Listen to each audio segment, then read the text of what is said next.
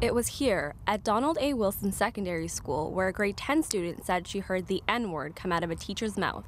We saw two teachers walking towards us, and that's when we heard the remark. So, what exactly did you hear your teacher say? Um, we heard um, fest. She says it happened after a group of black students were denied entry into a volleyball tournament. The teacher allegedly said the gym was turning into a, quote, N-fest. The student says she immediately reported what she heard to a vice principal and was shocked when she saw the teacher at school the next day. Jennifer is the mother of one of the boys. She says she's concerned with how allegations of racism are being handled and that the teacher is still able to communicate with the students involved if my child had uttered a racial slur or something to a teacher, they would have been immediately suspended. I would have been called right away. It's been four months since the incident first came to light, and there is still no resolution. The board has said that they have a third party investigating the allegations.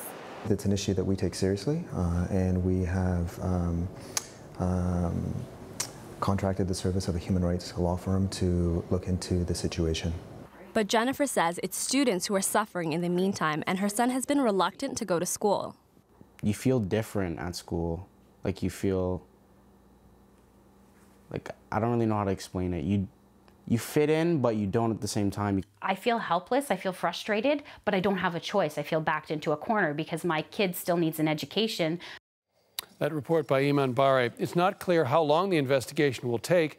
The mother you heard there says she was initially hoping for an apology from the teacher, but she now questions how the school and the board handle allegations of racism.